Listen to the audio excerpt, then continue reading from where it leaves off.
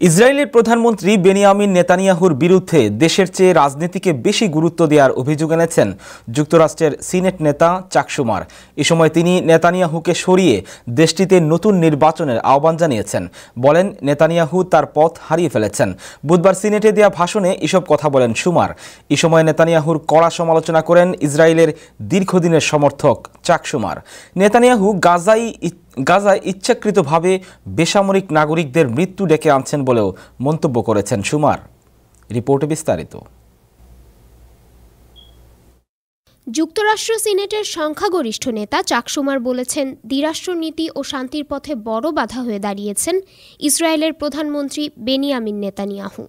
নিজের রাজনৈতিক অবস্থান টিকিয়ে রাখাকে বেশি গুরুত্ব দিতে গিয়ে তিনি এমন করছেন। এ কারণেই ইসরায়েলে নির্বাচন হওয়া দরকার।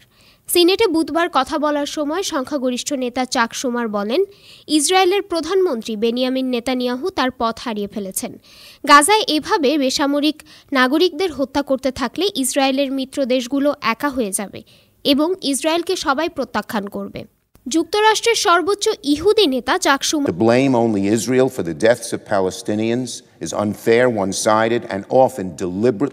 and.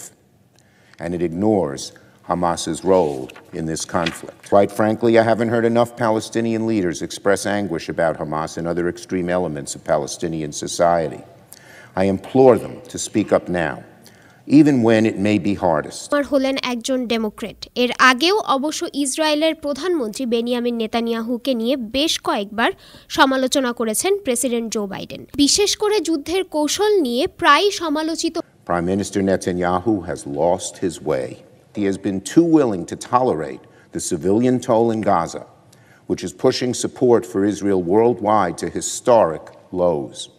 Israel cannot survive if it becomes a pariah. হতে হয় এই নেতাকে বুধবার কথা বলার সময় চাকসুমার বলেন, দ্বিরাষ্ট্রনীতি ও শান্তির পথে আসার জন্য কিছু জিনিস পরিবর্তন করা দরকার। এই মুহূর্তে শান্তির পথে প্রধান বাধা চারটি।